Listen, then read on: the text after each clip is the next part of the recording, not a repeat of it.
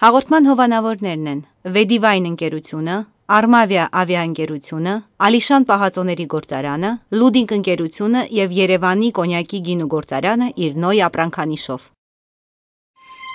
Armavia. Soaring colors of Armenia. Սա վերնաշեն է, սա արենի, իմ ընկերներ անհոգ օրերի, հերն անիծած, որ կյանքն անկատար է, լից կավացները իմ տիրուհի, հենց այսպես է ապրում է, մեր գինին վայրում, ու այս երկը բարգում է, ձեր հոգու հայերում, Գետապ Վերնաշեն եւ Արենի լավագույն ավանդույթները շարունակվում են։ Բնական հյութերի մուրաբաների ջեմերի արտադրության համար Ալիշան ընկերությունն ընտրում է հենց հայկական հողում հասունացած մրգերի հատապտուղներից լավագույնը։ Ախորժահան որակը, բնական գույնն ու բուրմունքը եւ վիտամինների ամբողջականությունը պահպանելու լավագույն եղանակը Ալիշան ընկերության կիրառող տեխնոլոգիան է։ Իր սպառողին ներկայանալ նոր բարձրորակ էկոլոգիապես մաքուր ապրանքատեսակներով։ Ալիշան հայկական արևի համը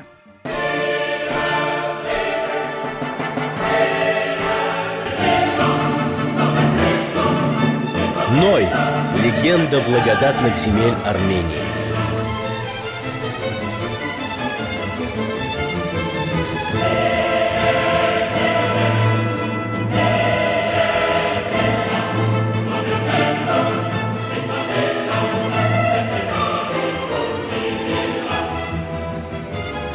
Ной.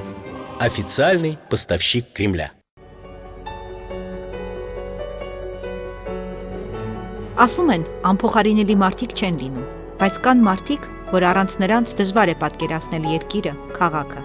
Այսօր վստահ կարող ենք ասել, որ Արցախ աշխարհի համար նա անփոխարինելի է։ Մարդ, որ իր հայրենիքի համար այն կրակն է, որը ոչ միայն տակացնում է, այլ նաև լուսավորում։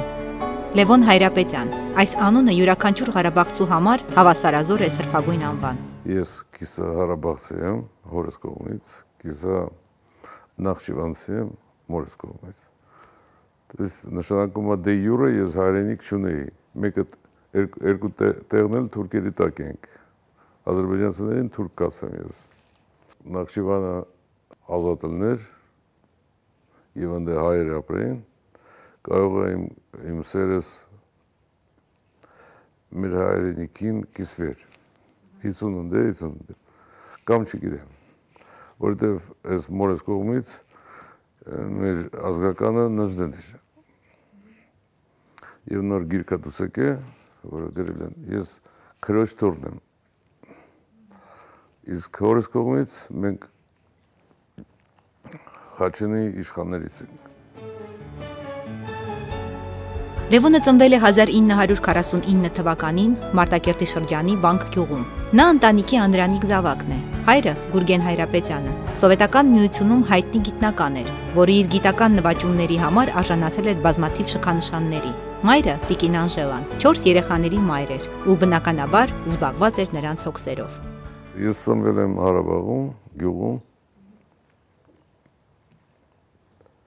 եւ երկու ամսական հասակում ինձ տեղափոխել են Վլադիկովկազ։ Այն ժամանակ անունը Արժենիկից քաղաք էր։ Նժդեի ընտանիքը ընդեղ էր ապրում։ Ընդեղ Նախճիվանի գյուզն ու գյուղի համայնքը ապրում էր Արժենիկիցում։ Եվ եղբայրը եղբայրը Հրանտը, քուրը Անյան եւ այլն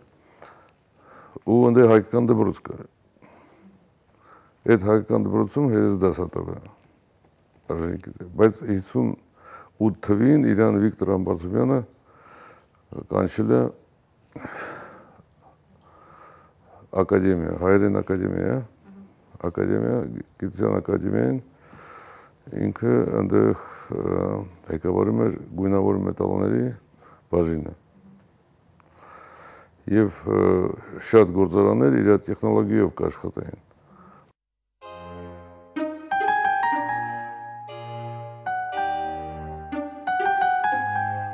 Երբ Գուրգեն Հայրապետյանի ընտանիքը վերադարձավ Երևան, Լևոնն արդեն երկրորդ դասարանում էր։ Սկսեց հաճախել Չեխովի անվան դպրոցը։ Դեռ մանկուց նրա մոտ ամրացած էր արդարության, պատվի ու արժանապատվության զգացողությունը։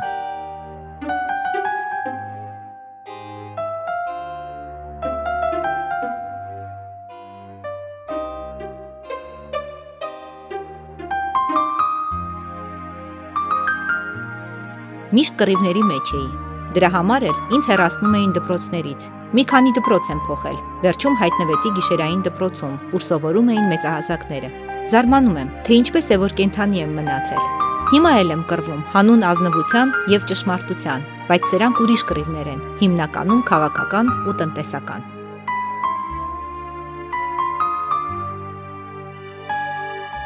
Լևոնը Ղարաբաղի իմբոստ ոգին է ժառանգել, եւ զուր չէ, որ նա Ղարաբաղցիներին համարում է ամենախիզախ ժողովուրդը։ Տեսեք երկրորդ համաշխարհային պատերազմի փայլուն հաղթանակի հերոսական պատմության էջերում հավերժացել են անուններ, եւ այն էլ ինչ անուններ։ Փոքրիկ հողակտորը 3 մարշալ է տվել։ Հովանես Բաղրամյան, Համազազ Բաբաջանյան, Սերգեյ Խուդյակով, Խամփերյանց Երեքն էլ սովետական միության հերոս։ Ադմիրալ Իսակով։ Ու նաև սովետական միության հերոս Նելսոն Ստեփանյանը, որը ծնունդով Շուշիից էր։ Եվ ի վերջո, ազգային ազատագրական պայքարի նվիրյալ Գարեգին Նժդեի այրունից էլ է հոսում նրա երակներում։ Ինձ տարօրինակ վերջերս մեղադրում են շատ մեծ հիվանդական սիրով Հարաբաղին։ Ես ուզեցի ինքս իմ մեջ անալիզ անեմ, որ նայեմ ինչու իսկականից ես օրը գիշեր դրա մասին մտածում եմ։ Ու ես չգտա պատասխանը, կարծում եմ արենի մեջ է գրված։ Գենետիկայի մեջ։ Հայերը ինչպես կանոն հաջողակ են մեր երկրի սահմաններից դուրս։ Դա ի սկզբանե դրված էր մեր գեներում։ Հայը տարբերվում է իր պատմական հիշողությամբ եւ ապրելու իմաստությամբ։ Այսպես է ավարտում իր միտքնա։ Լևոն Հայրապետյանը բարձրագույն կրթությունը ստանում է Մոսկվայում, ավարտելով տեղի պետական համալսարանի փիլիսոփայության բաժինը։ Այնուհետև ավարտում է ասպիրանտուրան, պաշտպանում դիսերտացիան Իր ուղամիտ ու համարցակ ճշմարտախոս ու պայքարող բնավորության պատճառով միշտ խոչընդոտների է հանդիպում։ Այդ ժամանակ հերավոր Սիբիր բամ մեկնելու համար ջոկատներ էին կազմվում։ Լևոնը եւս որոշում է մեկնել եւ ընտրում է ամենաէքստրեմալ վայրը՝ Անդերբևերային շրջանը։ Այնքանով, որքանով, որ ես ունեի որոշակի հեղինակություն եւ կապեր, պատմում է Լևոնը, ինձ առաջարկեցին, որ կազմակերպեմ շինարարական ջոկատներ եւ ղեկավարեմ դրանք։ Ես շինջոկատներ կազմակերպեցի ՀԼԿ-ում 18-րդ համագումարի падգամավորներից եւ մեկնեցինք Ուրենգոյ քաղաք։ Մեզ շատ ջերմ ճանապարհեց Լեոնիդ Բրեժնևը։ Ես այնտեղ մնացի 11 տարի։ Հեշտ չի եղել Լևոն Հայրապետյանի կյանքն ու գործը Հյուսիսում իր անհանգիստ բնավորությամբ եւ բյուրոկրատների հետ անհանդուրժողականության պատճառով շատ հաճախ կոնֆլիկտներ էր ունենում, բայց չէր ընկրկում։ Ունեցել է նաեւ հուսահատության պահեր, բայց երբեք չի լքել գործն ու մարդկանց։ Իր մարդկային արժանինքների, բանիմացության, կազմակերպչական ունակության շնորհիվ Լևոնը սիրելի էր ողջ մարզում։ Երբ վերադառնում է Մոսկվա, նրան հրավիրում են աշխատելու Կոմսոմոլսկայա Պրավդա թերթի խմբագրությունում։ Հետո աշխատում է Ագանյոկ ամսագրում, Այստեղ եւս իր ամբոստ եւ համարցակ բնավորության շնորհիվ խոչընդոտների է հանդիպում։ Խիզախ եւ օբյեկտիվ գրաքննադատության համար Գարբաչովը կուսակցության կոնֆերենսում առաջարկում է Հայրապետյանին ազատել աշխատանքից։ Բայց գտնվում են համարցակ մարդիկ եւ աշխատելու են հրավիրում Սաբիսեդնիկ շապատաթրթի խմբագրությունում։ Կարծես ամեն ինչ լավ էր, հոգեհարազատ աշխատանք, ապահով կյանք, լավ ընտանիք, երկու հրաշալի դուստրեր, բայց բայց գալիս է լարված, վտանգներով լի, պայքարի եւ անznազող նվիրումի ժամանակաշրջան, որը փոխում է նրա կյանքի ընթացքը եւ այն շարունակվում է առ այսօր։ Բիզնեսի ինձ բրտեց Հարավաղը։ Ես այդ ժամանակ գլխավոր խմբագիր էի մեծ սովետական թերթի եւ մոտավորապես ստանում էի 500 դոլար։ Էդի բավական էր, որ ընտանիքս կարայի պահի։ Հա, ձերի մեքենա ունեի, հատուկ պայոկներ էի ստանում որովհետև ուտելու բան չկար պետության մեջ։ Հա, բայց իմ մոտ եկան, որ ուժը սկսել է, էլի, կարող է կռիվը սկսվի, մենք է զենք չունենք, դաժե թուրքական ամոնը վեկալ է, սովետական ամոնը վեկալ է շամփուրները, որը մենք չկարողանայինք պաշտպանվեինք։ Այդ ժամանակ ես նայեցի, որ բիզնեսն է մեծ եկամուտ բերում, չնայած ճիշտ անկեղծ ասեմ, շատ չէր բիզնես չէր հետաքրքրում, ոնց որ ժուրնալիստ ու ես գնացի այն բիզնեսի մեջ էներգետիկայի, նավթի, գազի, որը կարող է շատ եկամուտ տա, որ ես կարամ ծախսեմ եւ տարբեր հարցերը լուծեք։ Որ Հարավաղի կրվը սկսվել է 92 թվին։ Ես 92 թվին իրանց ուղարկեցի Ամերիկա, որ իրանք անվտանգության էլ էր, որտեղ այն ժամանակ թերթերում էի հակա թուրքական, հակա ադրբեջանական գրում էի, ես մի քանի թերթ ունեմ ու ազերբայջանցիները շատ են դժգոհ, որ ես ամեն ինչ կազմակերպում եմ եւ, եւ չի թողնում հա, հակահայկական գրեն։ Եվ իրանք ինձ ճշնամի են հայտարարել, ես էլ ինձ ոչ մի բան չէր լինի անձնական, բայց իմ երեխեքին կարողաններ մանգապարտեզա, դպրոցա, մի բան կարող է պատահել, ես դրա համար իրան որ ապահովանեմ հանգիստ, ես ուղարկեցի իրանց Ամերիկա, Վաշինգտոն։ Ես էլ գնացի Հարաբաղ այդպես գնում գալիս է։ Ինչ են թողնում կրևանել, որտեղ ասել կրևանոք շատ ունենք, փամփուշ չունենք։ Դու ավելի լավ ես զբաղվի այդ գործով, որտեղ Նրա հոգսը, անհանգստությունը շաղաղված էր իր ժողովրդի հոգսերի եւ խնդիրների հետ։ Միշտ եւ ամենուր, որտեղ էլ որ ապրել է, գերագույն նպատակը հայրենիքն ու իր ժողովուրդն է եղել։ Հայրենիքն այն է, որ կորցնելուց հետո մարդուն այլևս ոչինչ չի մնում կորցնելու։ Այս զգացմունքով է ապրում եւ առաջնորդվում Լևոն Հայրապետյանը, եւ նա նվիրվեց Արցախի ազատագրման ու շենացման սուրբ գործին։ 92 թվին ես սկսի վերականգնել Գանձասարը։ Ճիշտ ասած, շատ իմ ծանոթները զարմացել են, ասում են, սպասի կռվը վերջանա, հանգիստ կարաս վերականգնես։ Ասի չէ, էդի, որ ես կռվի ժամանակ վերականգնում, չնա ռակետներ են թռնում, բոմբեկ են գցում, թուրքական օթանավները, բայց ես համոզված եմ, որ դա համոզություն կտա, որ մենք այդքան համոզված ենք, որ մենք կհաղթենք, որ եկեղեցին կռվի ժամանակ վերականգնում։ Այդ դրա համար եմ ես արել։ Օրինակ Շուշին արել ենք կռվից հետո, բայց Գանձասարը, որ սիմվոլն է Ղարաբաղի, կռվի ժամանակ։ Դաժե սարքում ենք, բոմբան գնում էր, քանդում էր։ Մենք նորից ենք սարքում որ համոզություն տանք, որ կռվի համար եւ այդ ժամանակ մենք ստեղծեցինք բատալիոն։ Գանդասարից հետո Լևոնը վերականգնում է Շուշիի Սուրբ Խաչ Աստվածածին եկեղեցին։ Հազարամյակներ շարունակ պատերազմներից ու հալածանքներից ցիրուցան եղած հայ ժողովուրդը, ուր որ բնակվել է, առաջին հերթին եկեղեցի ու դպրոց է կառուցել։ Հավատքն ու կրթությունն է մեր ազգի խթանիչ ուժը, ազգի գոյատևման հիմնակարը։ Սա լավ գիտի այս նվիրյալ հայը, Ղարաբաղցի Լևոնը։ Հավատքն առանց գործի մեռած է։ Այս բանաձևով է ուղղորդվում Ռուսաստանի հաջողակ գործարար Լևոն Հայրապետյանը, որի բարեգործությունը դուրս է սովորական մեկենասի չափանիշներից։ Նրա բարերարությունը սահմանափակումներ չունի։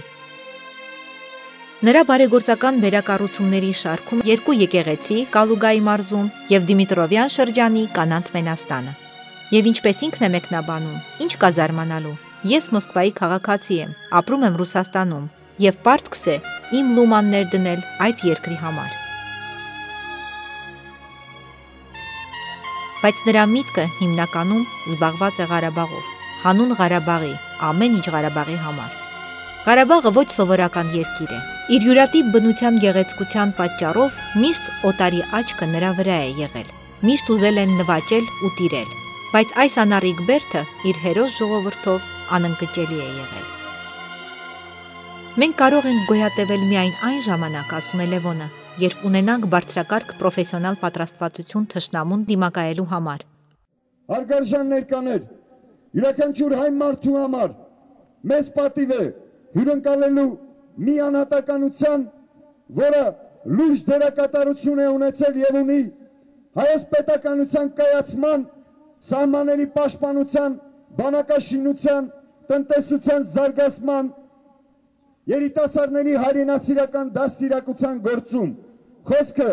մեծ հայրենասեր, մեծ բարերար Լևոն Հայրապետյանի մասին է։ Հարգարժան պարոն Հայրապետյան, անձամբ իմ անունից հայոց արցիների անունից խորին երախտագիտություն ձեզ, ձեր անմիջական մասնակցության համար։ Պատվելի սպաներ, ենթասպաներ, զինվորներ, հարգելի ներկաներ, միշտ եղեք հպարտ, հզոր, միշտ իմացեք, որ դուք եք հաղթանակած պետության, հաղթանակած բանակի, հաղթանակած քաղաքացին եւ զինվորը, կեցեք դուք, կեցե զորազգային բանակը, կեցե հայոց նախագահը, կեցե Հայաստանի Հանրապետությունը։ Լևոն Հայրապետյանը ապարգևատրվել է հայոց արծիվներ հասարակական կազմակերպության կողմից Լեռնահայաստանի արծիվ ոսկե հուշամեդալով։ Մենք չէինք ուզում Արցախը ռազմական պետություն դարձնել, բայց ստիպված էինք։ Մենք հզոր բանակ ունենք, բայց ես ուզում եմ, որ զենք ու զինամթերքին տիրապետեն յուրաքանչյուր Ղարաբաղցի, տղամարդ թե կին, պատանի թե աղջնակ։ Այդ նպատակով ստեղծել եմ կադետների դպրոց, որը նման է Սովորովյան դպրոցի։ Մեզ անհրաժեշտ է ունենալ ազգային գվարդիա։ Այսպես է ամփոփում իր միտքը Լևոն Հայրապետյանը։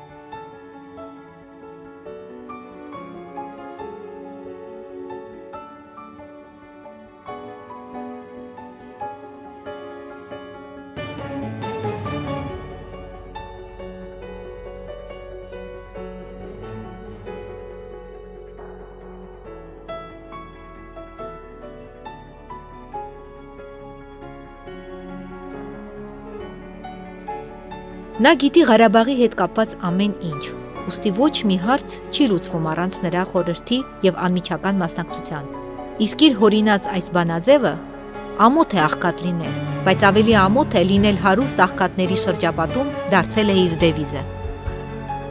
Լևոնը հսկայական ներդրումներ է արել շինարարական գործունեություն իրականացնելու համար, որpիսի իր համագյուղացիները չխեղճանան, իր սիրելի ազգը լավ ու ուրախ ապրի։ հիմնովին վերականգնել է ծովին քարը։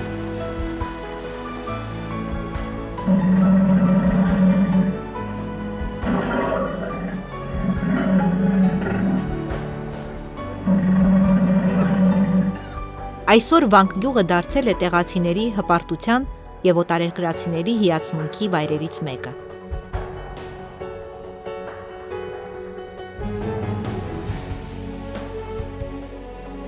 Գյուղից դեպի Գանձասար տանող մի հրաշալի ճանապարհ է կառուցել, որpիսի դեպի Աստծո եւ հավատքի տաճար տանող ճանապարհը ձյուրին լինի։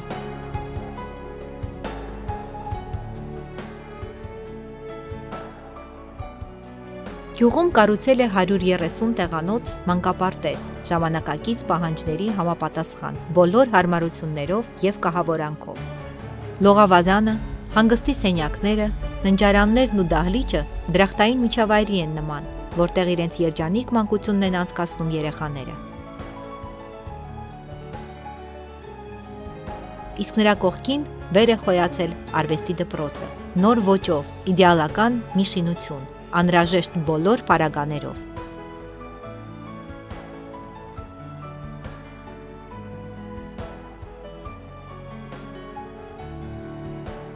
Իսկ հանրակրթական դպրոցը, որը կոչվում է Գուրգեն Հայրապետյանի անվամբ, իր լուսավոր դասասենյակները, ընդարձակ մարտադահլիճը, գրադարանն ու ճաշարանը իրենց կահավորանքով հիացնում են բոլորին ու նաև պարտավորեցնում։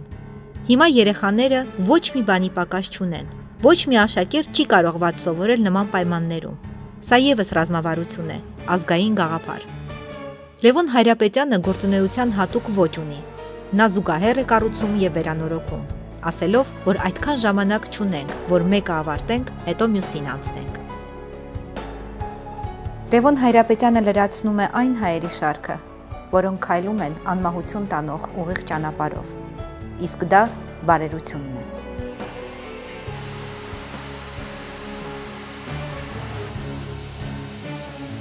Գյուղում հիմնել է փայտամշակման գործարան, որտեղ ներդրել է նորագույն տեխնոլոգիաներ, ստեղծելով բազմաթիվ աշխատատեղեր։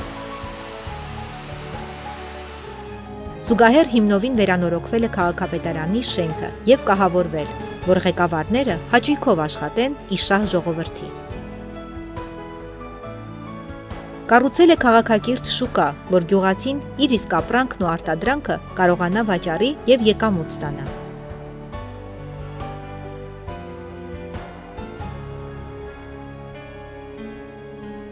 իսկ հանգստի գոտին եւ ձիարշավարանը գեղատեսիլ բնության մեջ հեքիաթային մի վայր է դարձել։ Յուրաքանչյուր կառույցի բացումը տոն է, ցնցություն ժողովրդի եւ անձամբ Լևոնի համար։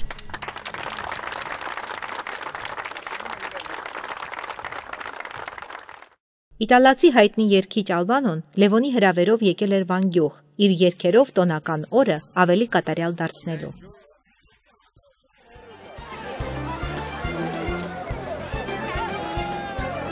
Լևոնի մտահաղացումները շատ յուրօրինակ են եւ արժանի գրանցելու Գինեսի գրքում։ Ամեն տարի նա կազմակերպում է ավանակների վազքի մրցույթ փառատոն։ Դա հրախուսական մրցում է։ Յուրաքանչյուր մասնակից ստանում է 100-ական դոլար իսկ մրցանակային առաջին, երկրորդ եւ երրորդ տեղեր գրաված մասնակիցները մինչև 6000-ական դոլար ապարքեվավճար։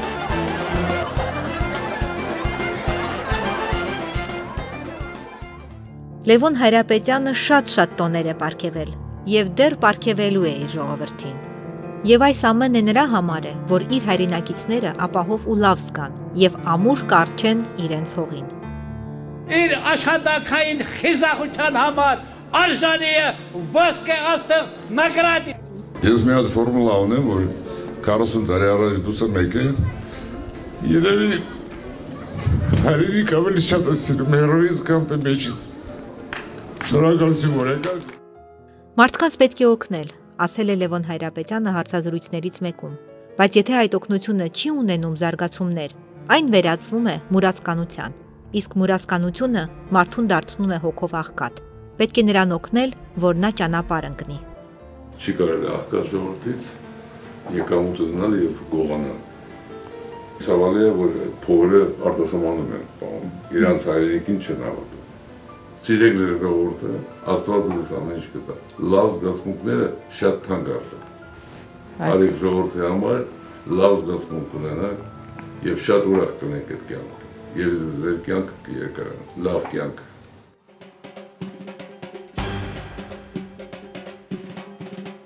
«2008 թվականին Արցախում տեղի ունեցավ մի աննախադեպ իրադարձություն, որ քրիստոնյա աշխարհում դեռ չէր պատահել։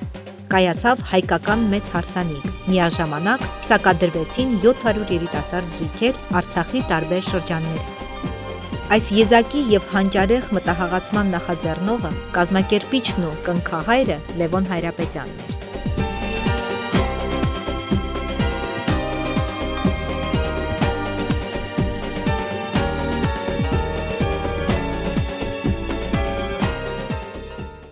Ես մի հատ հյուրանոց եմ սարքե գետի ափին։ Բայց քշերը ամեն ինչ լավ լսվում է ձորի մեջ։ Ես նստած եմ երրորդ հարկում, Եվ լսեցի երկու հատ տղամարդիկ խոսում են իրար հետ, մեկը ջայելի ձեն ուներ, մեկը ուժը հասունացած տղամարդ։ Ու այդ ջայել ձենը հարցնում է, «Պապաջան, ասում է, երբ կարաս դու ինձ ամուսնացնես, բանակից եկել եմ, ուզում եմ ամուսնանամ»։ Դե այդ տենց հասակա, որ ուզում են ամուսնանալ, սիրել, գարումանալ սիտուացիա էր։ Ինքն էլ ասեց, որ տղա ջան, փող չունեմ, որ հարսանիք կազմակերպենք, իսկ հայերը առանց հարսանիք, առանց նշանտրեկի չեն կարող։ Դա խայտարակ վիճակ է։ Ասում է երկու հատ կով ունենք, մեկը հորթը, մեկը մեծ կովը։ Այս հորթը որ կով դառնա, այն մեծին կմորթենք, կվաճառենք, այդ փողով կես հարսանիք կանենք։ Ու ես գիտեմ, որ մենք քիչ քանակով ժողովուրդ ենք, բոլոր հայերը, հատուկ հարաբաղցիները 143000 ու այդ ամենակարևոր հարցն է, որ մենք շատանանք, որովհետև քանակը ամենամեծ զենքն է աշխարհի մեջ։ Դաժե չին-չին անելով ազգը ազերբայջանցի կոչվելով իրանք քանակով են վեկանում։ Եթե Ղարաբաղը քրեվոչաններ, Հայաստանը չէր մաքրվի։ 20-30 տարուց հետո իրանք կլինեին դոմինանտը ավելի շատ հայերից։ Մենք հայրենիք կարանք կորցնեին։ Եվ ես որոշեցի, որ այս քանակի աճումը կախված է էկոնոմիկայի հարցերից էլի, որ լուծես։ Ու ես որոշեցի այդ հարսանիքը կազմակերպեմ։ Եվ մի ամսվա մեջ մենք ամեն ինչ կազմակերպեցինք զուգահեռ մեծ շինարարության հետ։ Ստադիոնը, եկեղեցիներեն, հրապարակներեն եւ այլն եւ այլն մանր բանից մատնիկից սկսած վերջացրած շորերով եւ ուտելով եւ համերգներով Ուժիմ շոու դուս եկավ, էլի սիրուն շոու դուս եկավ, բայց հիմնական խնդիրը դա դեմոգրաֆիկ պիտի պայթում անենք։ Եվ այդ պայթումը մենք ստիմուլ ենք արել, էլի որ առաջ երեխու համար 2000, երկրորդի համար 3, երրորդի համար 5, չորրորդի համար 10, հինգերորդի համար 20000 ամերիկան դոլար, վեցերորդի համար 50, յոթերորդի համար 100.000, որը նոն-ստոպ առանց կայնելու իրանք երեխա սկսեն ծանել։ Արցախյան մեծ հարսանիքի արարողությունը պետք է կայանար Ստեփանակերտի մարզադաշտում։ Նա ձեռնամուխ եղավ մինչև հարսանիքը հիմնովին վերակառուցել մարզադաշտը սպորտային կոմպլեքսներով, որոնք պետք է համապատասխանեին արտի բոլոր պահանջներին։ Հարսանիքի արդիվ վերակառուցվեց Ստեփանակերտի կենտրոնը, վերածնության հրապարակը, որտեղից մինչև մարզադաշտ կառուցվեց աստիճանահարթակ Սիրահարների ճեմուղին։ Հենց այդ ճեմուղով Մենդերսոնի հարսանեկան քայլերքի ուղեկցությամբ 1400 հարս ու փեսա իջնում էին մարզադաշտ։ Իսկ Լևոն Հայրապետյանը խաչը վեր պահած արխայավայր առաջնորդում էր երիտասարդներին դեպի սիրո արագաստ, դեպի երջանկություն։ Ամեն ոք իզորու չէ ազգը զորացնելու կարևորագույն եւ սուրբ գործին լծվել։ Լևոնի մտքի, հոգու ու խղճի խորհրդանիշն է հզորացնել ազգը։ Սա նրա մտածելակերպն է ու նաև ապրելակերպը։ Այսպիսի բան կարող էր կազմակերպել միայն հանճարեղ մարդը։ Այդ հանճարեղ մարդը իր համախոհներով ինձ համար եւ ձեզ համար Լևոն Հայրապետյանն է։ Սիրելի Լևոն, Եթե այս ավանդույթը շարունակվի, մեր պետականությունը գնալով կհզորանա, մենք կմնանք, կդառնանք անվերջանալի։ Մենք կծաղկենք աշխարհի համար, մեզ համար ամենագեղեցիկ փայլերով կփայլատակենք։ Բարք Լևոն Հայրապետյանին Արցախյան հարսանիքը դարձավ ողջ աշխարհի ուշադրության առարկան։ Այս հզոր ակցիան Արցախ աշխարհին տվեց 700 ընտանիք, որը բազմանալով երապատկելու է բնակչության թիվը։ Սա եւս ռազմավարական քայլ էր։ Իպատիվ մեծ բարերարի եւ կնքահոր բոլորն իրենց արուզավակներին անվանակոչում էին Լևոն անունով։ Դա Աստված, որ այս փոքրիկ Լևոնները մեծանան եւ պաշտպան լինեն այն ամենին, ինչ կառուցել ու հիմնել է Լևոն Հայրապետյանը։ Նրա կենսագրությունը վառ օրինակ է այն բանի, թե ինչ բարձրունքների կարող է հասնել տաղանդավոր եւ վառ անհատականության տեր հանրային գործիչը։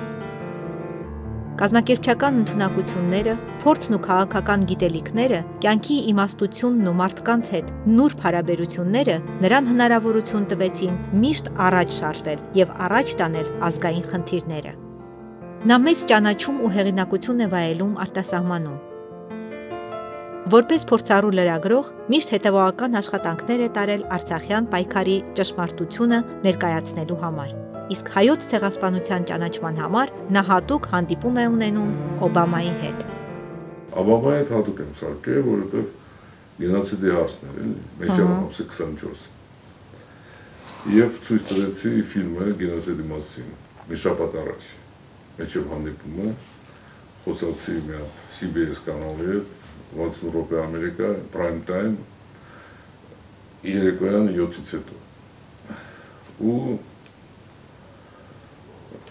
նայեցի, չնայած ջուդական կազմակերպությունները դեմ էին, բայց ես մեթոդներ ունեմ, որը անցավ։ Հետո կոմիտեն դրա համար ընդունեց մի ձայն առավելությամբ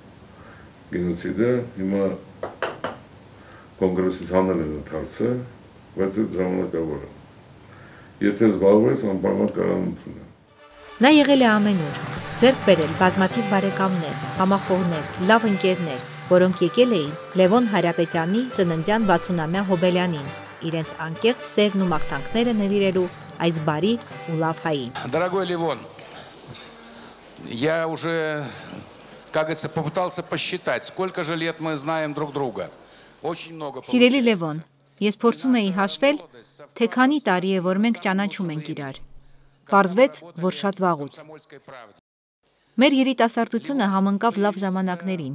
երբ աշխատում էինք Կոմսոմոլսկայա Պրավդայում։ Լևոնը հայտնվեց ինչպես հրաբուխ։ Այս մարդը այնքան հոգեհարազատ է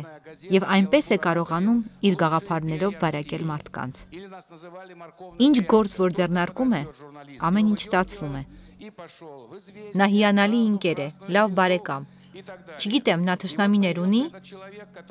ջերմություն է հաղորդում բոլոր նրանց, ով իր կողքին է։ Քո կենացը, Լևոն Գուրգենովիչ։ Левон, ты лучший, ты самый красивый, ты олимпиец, ты чемпион. Այսօր Լևոնը մեզ տալիս է իր հարուստ սիրտը։ Մենք տեսել ենք նրա տաղանդը բոլոր ասպարեզներում։ Նա ռուսական սպորտի մեծ բարեկամն է։ Նրա շնորհիվ ռուս սպորտսմենները աթեգքում 30 ոսկե մեդալ ստացան։ Լևոնը երջանկություն է ապարգևում բոլորիս։ Դու չեմպիոն ես։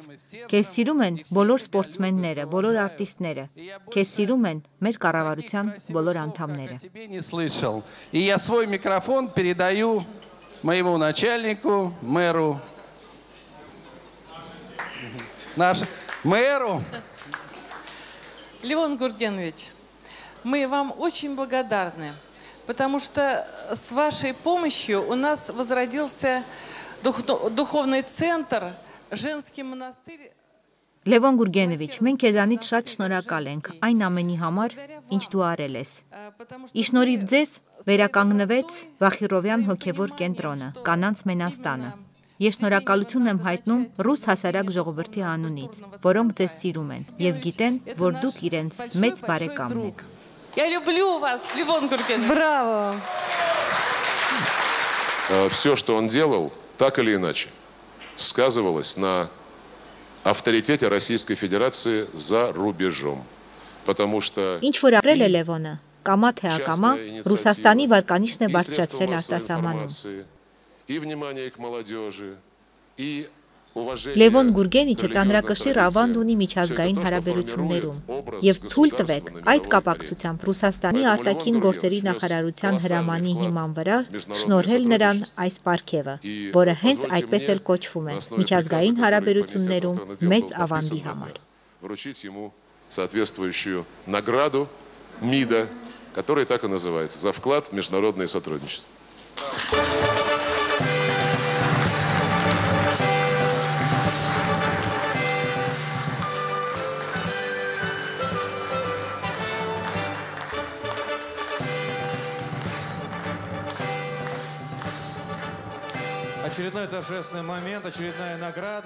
Բազմաթիվ կառավարական պարգևների ու մեդալների է արժանացել, բայց կա մեկը, որը սիրով է ընդունել։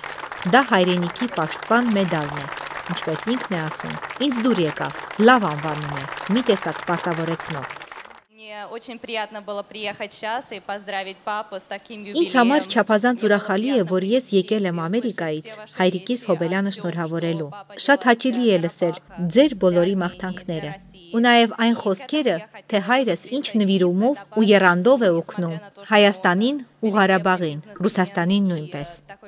Ու ես միանալով բոլորին կասեմ, որ հայրս ոչ միայն համաշխարհային քաղաքացի է, այլև հիանալի մարդ ու ծնող։ Չնայած նրա համակ ուշադրությանը Ղարաբաղին, նա չափազանց մեծ երանգ է տվել իր երկու աղջիկներին մեծացնելու ու դաստիարակելու համար։ Շատ շնորհակալություն հայրիկ եւ շնորհավոր Հոբելյանդ։ Այո, Լևոն Հայրապետյանը լրացնում է այն անհատների շարքը, որոնք հայ ժողովրդի ճակատը բաց են պահում քաղաքակրթության անդաստանում։ Ես իմ երկրորդ կինս է, որը հետ մենք ամուսացել ենք հավասար։ Ռուսա, բայց համարում։ Ռուսա, բայց հիմա ասում եմ ես ոչ թե հայ եմ, ես հարաբաղի հայ եմ։ Իրինան միշտ ամուսնու կողքին է։ Ամենուր ուղեկցում է Լևոնին։ Երկրից երկիր, քաղաքից քաղաք նրա հետ է։ Հոգ տանում ու քաջալերում նրան։ На самом деле, если говорить о моем муже, то, наверное, самым большим и ярким Ինձ ամենից շատ զարմացրել եւ հիացրել է այն, որ ես դեռ չեմ տեսել մի մարդ, որ այդքան շատ սիրի իր հայրենիքը եւ այն ժողովրդին, որին պատկանում է։ Եվ ոչ թե խոսքով, այլ գործով, վարմունքով։ Նա այնքան շատ է անում մարդկանց համար, եւ այդ բոլորը իմ աչքի առաջ է կատարվում։ Լինելով հաջողակ գործարար, նա սիրող ամուսին է, նվիրված, նա ուրախ մարդ է։ Ինձ համար ամենալավ ամուսինն է աշխարհում։ Ես ուզում եմ, որ ինքն իրեն մի քիչ սիրի ու խնայի, որովհետև ուրիշներին սիրում է, իրեն համար էլ ժամանակ չի մնում։ Для меня он э, лучший в мире муж. Այսօր առավոտը միացրի եւ նայեցի Ռոստովի մարզում երկու հատ շատ ճկնակ եկեղեցի կանդված կայնած են չոլի մեջ։ Հետո տեսա Վրաստանում կայնած են եկեղեցիները, Հայաստանում տարբեր։ Ես կարծում եմ դուք ցույց կտաք այդ նկարները։ Ու մտքովս եկավ ինչու մի հատ ֆոն չստեղծենք, բոլորը միանգամից, ոչ թե հերթով, ոնց որ ես առաջուց արեցի Գանձասարը, հետո Շուշին եւ ուրիշ եկեղեցիներ օգնում է էպիզոդ։ Ուզում եմ ֆոն ստեղծեմ, տենց հիմնադրամ, հավաքեմ իմ ընկերներից։ Ես ինքս առաջուց շատ նորմալ փողեր կդնեմ ստարտի համար, որ սկզբունքի համար։ Ու մի անգամից համել մենք մի քանի հարցեր կլուծենք, համ մեր պատիվը մեր նախկիններին, որը կառուցել են այդ եկեղեցիները, համ մարդկանց գործ կտանք, համ էլ շինարարության ժամանակ հայերին կհայացնենք, որովհետև օրինակ Հայաստանը ունի ազգային իդեա։ Իսկ ես կարծում եմ հիմիկվա օրվա համար ամենամեծ հայկական իդեան է ոնց հայերին հայ դարձնել։ Եթե հայկական գործերով զբաղվում ես, ուզած չի ուզած ավելի լավ որակով հայ ես դառնալ։ Այդքան բան։ Բարև ձեզ։ Մենք հանդիպել ենք։ Այրեն է։ Հարաբաղցի, հարաբաղցի։ Հա, հարաբաղցի։ Բա երկու տարի առաջ իմանում չէ։ Լևոն Հայրապետյանը ելի մեծ ծրագիր ունի իրականացնելու։ Այդ նպատակով նա Փարիզում հանդիպեց իր վաղեմի բարեկամ Շարլ Անznավուրին։ Я решил, это все. Մեր նպատակն է երկու տարում Հայաստանի տարբեր շրջաններում գտնվող ճարտարապետական հրաշք ոճով 68 ավերված եկեղեցիները, որոնցից ամեն մեկը մի կիսական թանգարան է բաց երկնքի տակ, վերականգնենք։ Մենք այդ նպատակը իրականացնելու համար ֆոնդ ենք ստեղծել։ Ճիշտ կլինի, որ մեր նախնիների կառուցած հոյակերտ տաճարները վերականգնվեն։ Դա մեր սուր պարտքն է հանուն Աստծո եւ խղճի պարտքը հանուն նախնյաց։ Շարլ, ես ուզում եմ, որ դու լինես այս ֆոնդի նախագահը, քո անունով լինի, քանի որ ամենահրճակավոր հայն ես։ Շարլ Ազնավուրը ողջունեց Լևոն Հայրապետյանի հայանպաստ այդ կարևոր եւ հզոր ծրագիրը եւ մեծ սիրով ու զգացումով տվեց իր համաձայնությունը։ Լևոն Հայրապետյանը ապացուցեց իրեն եւ աշխարհին, որ հավերժությունն ասվածն այն է, երբ քեզանից հետո մարդկանց պիտանի ինչ որ բան ես թողնում, բարի անուն ու հիշատակ։ Երանի նրանց, ովքեր քեզ նման հուշ կունենան, ովքեր չեն վախենա հետ նայել, որովհետև հպարտությամբ պետք է կրկնել, գործը դե անման։ Թող օրհնյալ լինեն այն հողն ու ծնողը, որ քեզ են ծնել։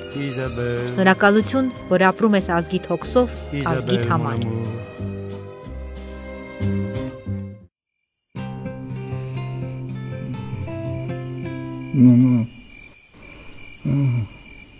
Merci, Armaria.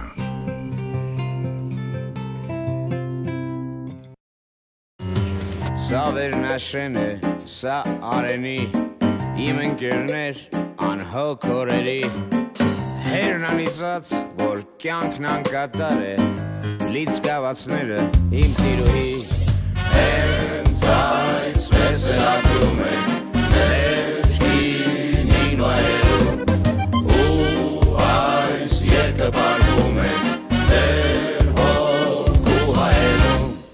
Գետապ Վերնաշեն եւ Արենի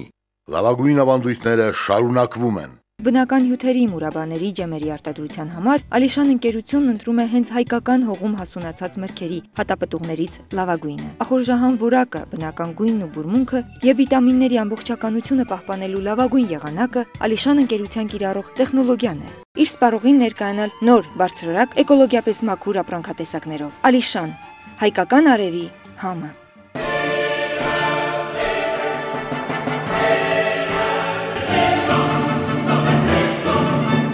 Ной – легенда благодатных земель Армении.